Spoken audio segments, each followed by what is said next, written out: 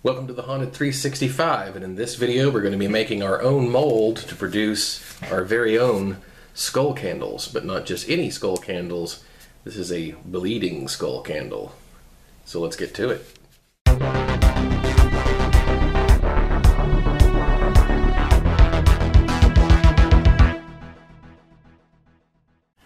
Alright, I've got my little Dollar Tree ceramic skull here and the first step of the process is we have to get rid of this indention right here in the bottom. The idea is we don't want to have any undercuts to where when this is sitting here like this and you're putting the silicone on top of it to make your mold, you don't want it to get underneath and create like a mechanical lock on any part that it's going to get hung up on when you're trying to peel the mold off. So the first thing I'm going to do here is I have some clay and in this case it's monster clay which is kind of pricey clay. I mean of course you could just use something from you know the, the hobby store or something like that. But monster clay is actually pretty good stuff because uh, it's highly moldable. Um, you just have to pop it in the microwave for just a few seconds and it will get uh, soft and malleable. But as it cools off it will get extremely hard. Uh, the best part about it is is it's reusable uh, if you're whatever craft or whatever you're doing, if you're wanting to make something out of monster clay and then take a mold directly off of it with silicone, you can do that and then just heat the monster clay back up again, turn it back into a, a malleable form and just reuse it over and over.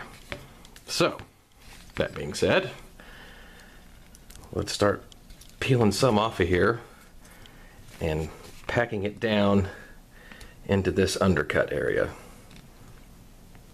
We just want to make sure that if any of our silicone mold making material happens to seep underneath this, that it won't just pull up in this huge indention right here. And here on the jawline, I'm just going to try to blend this in and that will kind of get rid of that undercut or at least make it less harsh and less likely to make the mold stick. I will try to level this out a little bit just by pressing it down on the table.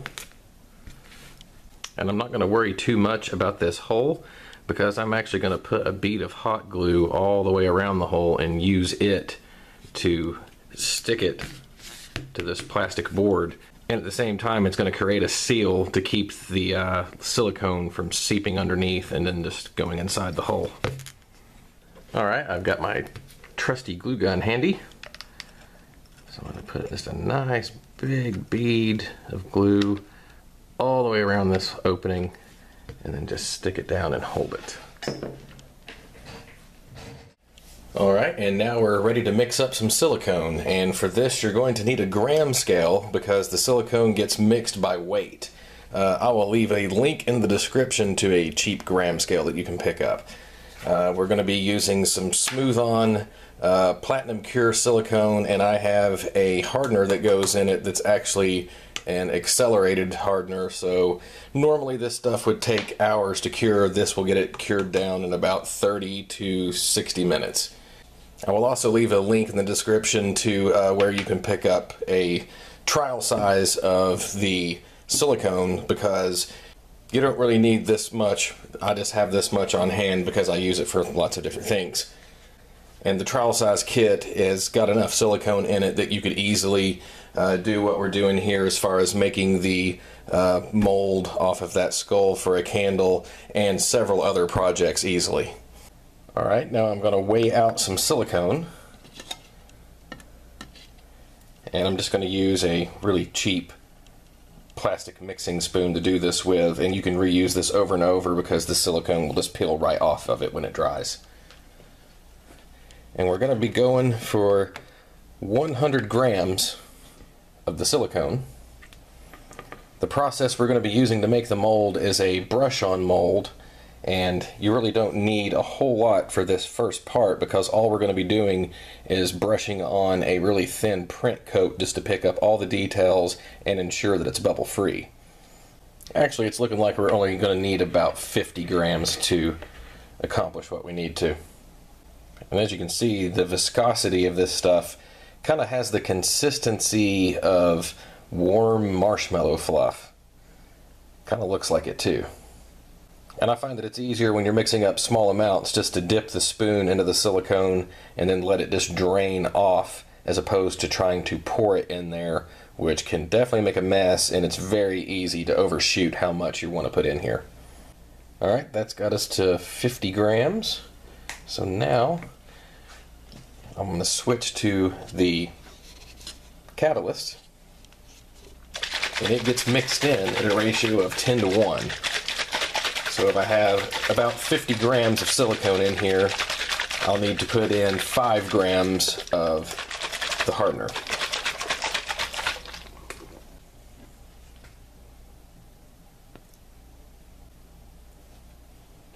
Alright, I put just a slight bit of extra hardener in there just to speed up this whole process so I'm not sitting around all day or all night waiting for this stuff to cure. Although if you use the hardener that typically comes with the kits, you will have to wait overnight in between coats, but we're only doing two coats. Now you just want to get this stuff mixed up extremely well. You don't want any white streaks. The whole thing should look like like a darker shade of Pepto-Bismol pink in this case. Of course, other brands and types of silicone will have different colors of hardener, so they might be blue or they might be pink in this case, or they could be kind of a tannish yellow or green. Make sure you really scrape the sides. It's also good to use a translucent or clear cup because as you can clearly see, we have a whole lot of unmixed product down here at the bottom. And if you're using the standard hardener that typically comes with these kits, you'll have a work time of about 30 to 45 minutes with this stuff before it starts to kick off. Uh, since I used that accelerated hardener, I've only got about six or seven minutes tops to work with this. So it's in my best interest to get this stirred quickly. All right, now that I've got this thoroughly stirred up, I'm just going to brush on a very even layer just using a chip brush. And this particular batch of silicone that I'm using is actually quite old, so it's, it has a tendency to thicken up over time. So whatever you might get, if it's brand new, it's probably going to have a thinner consistency than this, and just by gravity have more of a tendency to just drip and sag and cover the part that way. We just want to make sure we get good, even coverage with no air pockets. Make sure everybody's got some silicone on it. Your absolute biggest concern, other than just even coverage, is no air bubbles. It'd be very easy to get some voids in these eyes or inside this nose. So I'm just going to keep going over this and make sure that I get everything covered. Make sure I get this undercut down here on the back. All right, now that I'm pretty sure that I've got an even coat on everything, I'm just gonna take what I have left here and just really glob it up around the bottom and then let gravity just kind of work for me and bridge the gap between the skull and the, uh, the base that it's sitting on.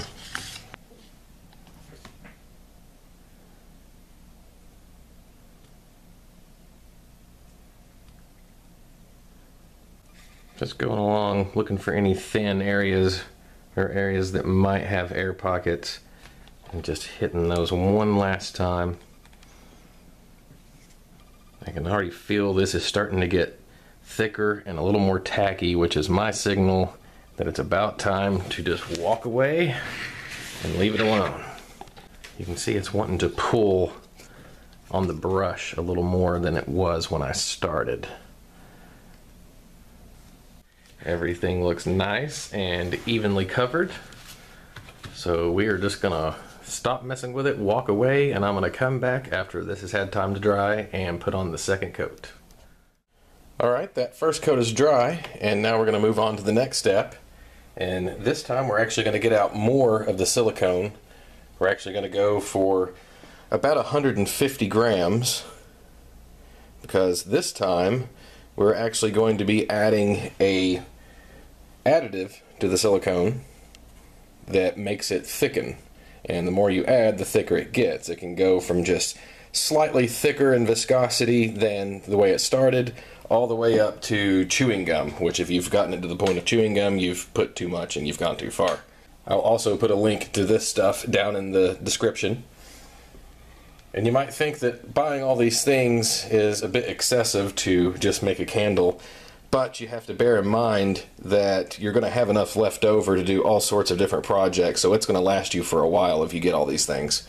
This mold will ultimately be only about 200 grams worth of silicone, and most of the starter kits come two and a half to three pounds, and there's about 450 grams per pound.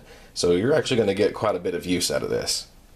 Alright, and that's 150 grams, and now that I'm looking at what I have here, I think I'm going to add about another 30 to take it up to 180. Just because it's probably better to have the mold a little thicker than too thin. Alright, and that takes us to 180.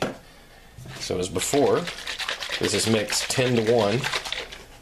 So I'm going to be adding 18 grams. And now I'm going to add the thickening agent. And a little bit of this goes a very long way. This bottle, this size, will actually last you an extremely long time. Because for this small batch here, I'm only going to add four drops. I can always add more, but if I add too much, I can't take it away.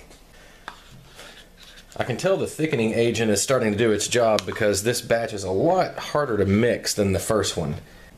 Alright, and I'm going to use a tug depressor to spread this on with. If the mold was smaller, I could use a popsicle stick, and of course if it was larger, I would probably opt for something like a paint stirrer. But I'm just going to start globbing this on and being very liberal with it. Now is not the time to be stingy because we are trying to build up thickness on our mold. It probably isn't a bad idea to wear gloves while you do this. And now just to kind of speed things along, I'm just going to dump a big glob here right on top and just start working that in. So now I'm going around and everywhere that it's settled down to the bottom on the board, I'm just picking that back up and adding it back onto the part. I'm going to really make sure that we get underneath this undercut on the back of the head and along the sides because we don't want any air voids.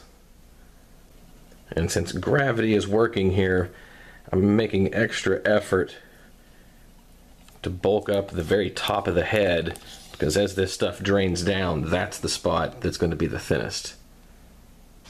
I can tell by the way this stuff, I can tell by the, I can tell by the way the silicone is reacting now and the way it feels as I try to pick it up and pull it back up to the top that I probably only have about one minute left to work with this.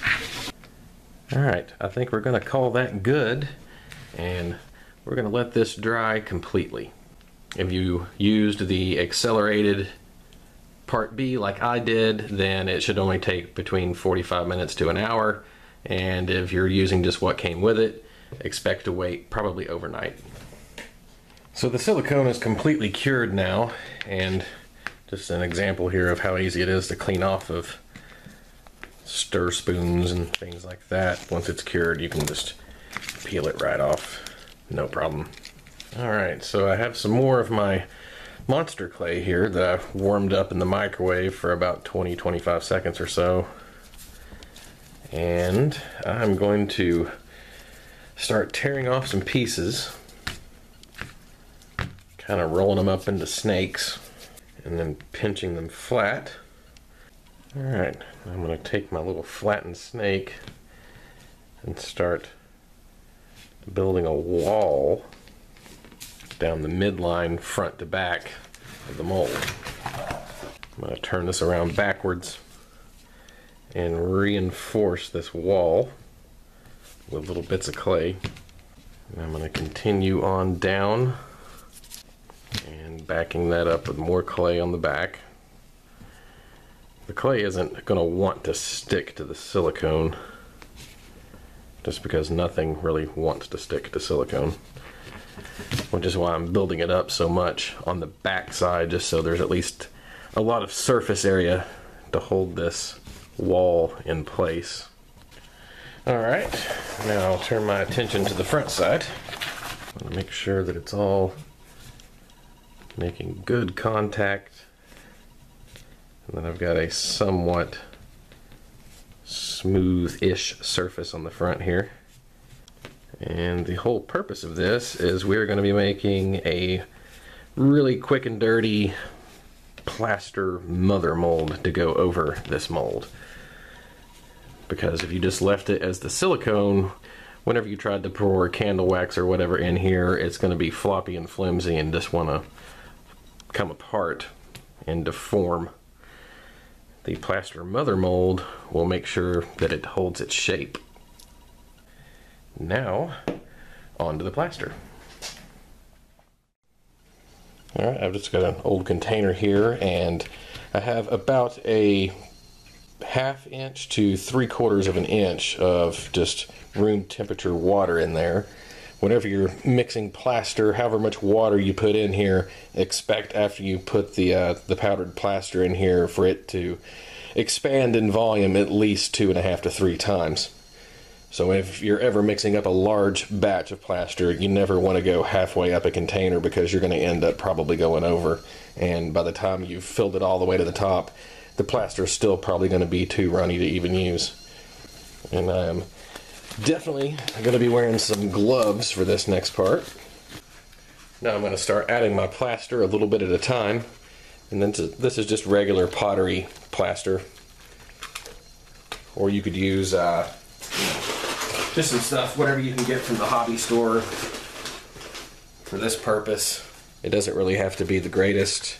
Uh, of course, if you were making like a mask mold or something like that, you would want to go with something with more quality, like Hydrocal or Ultracal.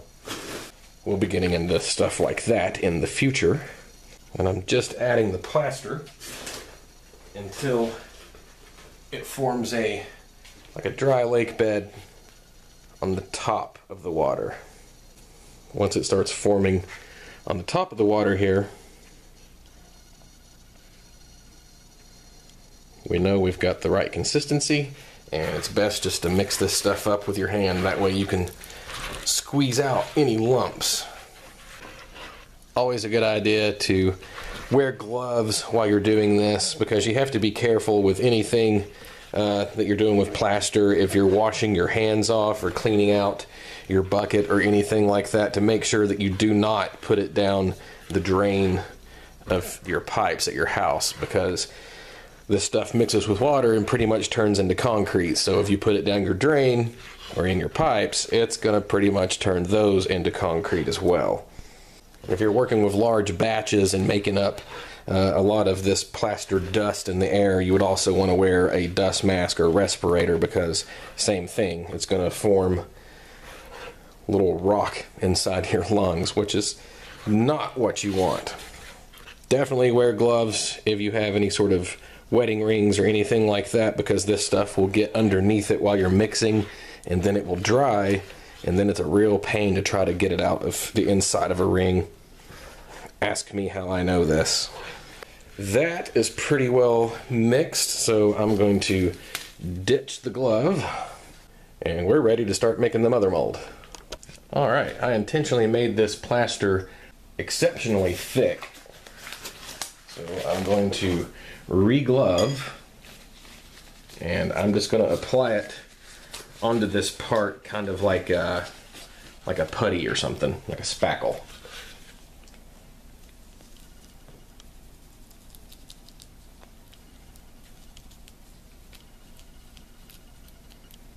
Because like I said, once again, we're not going for perfection. We just want something on here, a little extra to give this mother mold, or to give the main mold rather, some strength.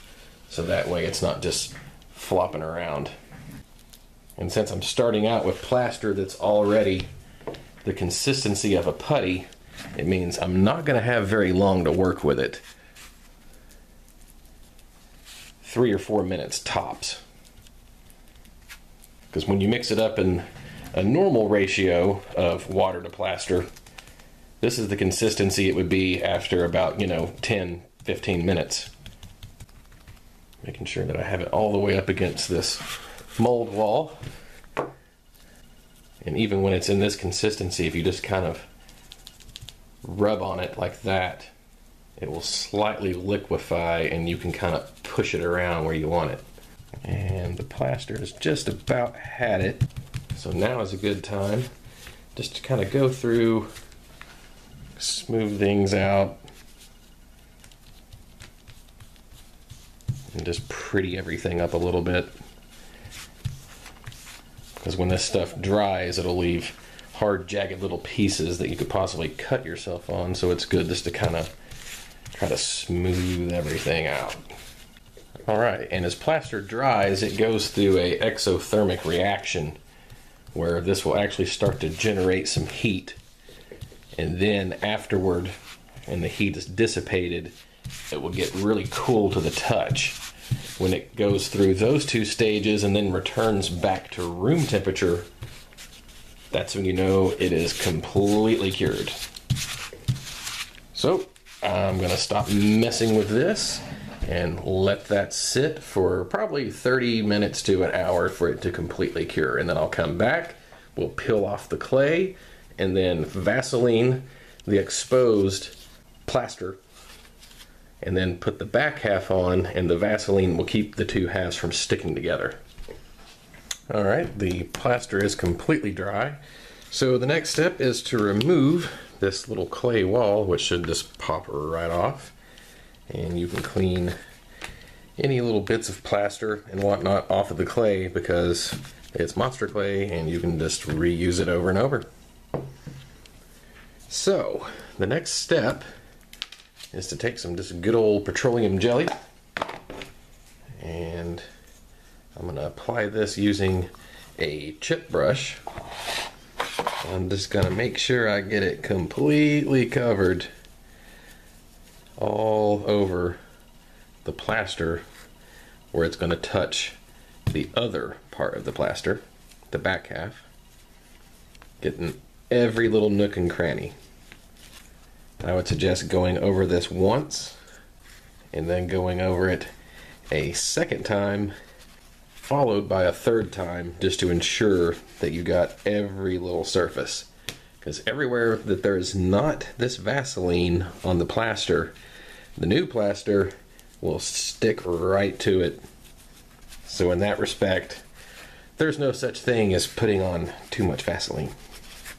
And go over this edge just a little bit with some more of the Vaseline just in case any of the plaster makes it from the backside onto the front. But we're going to try to avoid that. But this is just a little cheap insurance. All right, I mixed up a second batch of plaster, pretty much the, the same way as I did before. This time I made it just a little bit looser so it's a little less putty-like and a little more pudding. And I'm just gonna dip my hand down in here and just let this flow right onto the back of the mold. So you can see already the the difference it makes in just the amount of plaster that you're adding to the water. This is generally the consistency that you would want to work with, especially if you're making like a mask mold or something like that. Now, I have a little on there, I'm going to take a chip brush and just kind of get around the edges here to make sure that it gets into any undercuts.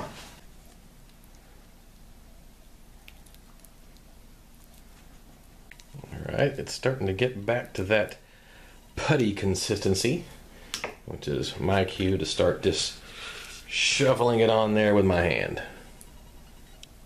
And remember, even when it's in this state, if you're having trouble getting it in a particular area, if you just jiggle it with your hand, you can usually get it to flow where you want it.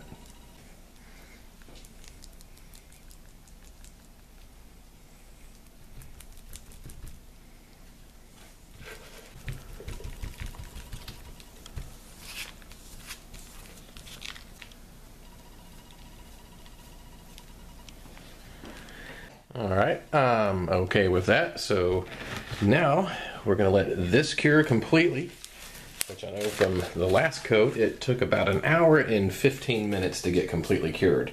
So I'll come back to this and we'll be ready to crack it open. All right, the plaster is completely cured. And now we're faced with the task of trying to separate the mold. Just looking around for any little cracks or anything.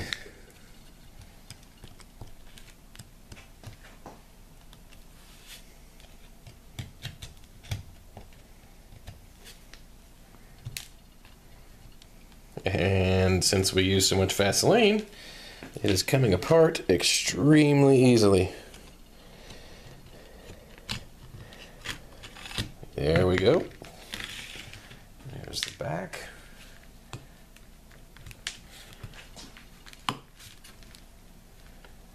Be careful, we don't want to crack anything. And there's that. All right.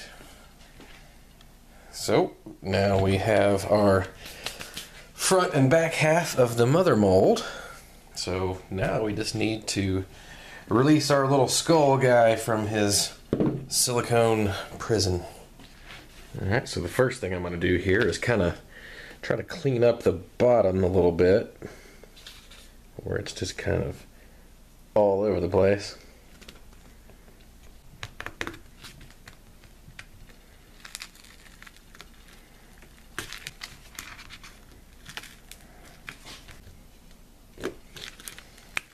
Now I just need to turn it around to the back side.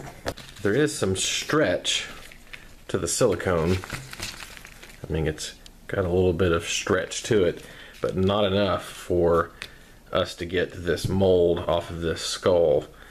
Uh, there's just too many undercuts and things like that going on, and especially the way the back of the head curves in like that. So we are going to make a cut starting from about midway on the back of the skull and cut all the way through the silicone. So we should, now we can go ahead and break this off actually. Ah, there we go. Hot glue definitely did its job. Just need to make sure we continue to split all the way down to the ceramic. We need to make sure we get through all the silicone. Just like that. Now we just need to carefully break free all the edges.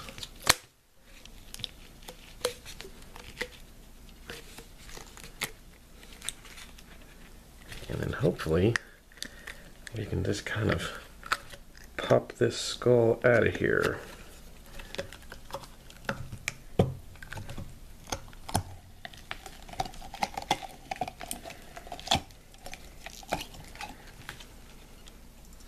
I have a little bit of the silicone stick right there, not exactly sure why. Must be something abrasive inside that eyeball or something like that. But all in all, it seems to have turned out okay. So now we have a nice shiny new skull mold. So then we can take our mother mold, figure out which side is which. This looks like it should be the face. And it should fit right down in there, as expected. And then the back side should just go right like that. And that should hold everything together. Now all we have to do is put some rubber bands or something around this to hold it together. And that will wrap it up for part one of this video. Make sure that you subscribe and hit the notification bell so you're notified as soon as part two has been posted. And until then, keep it creepy.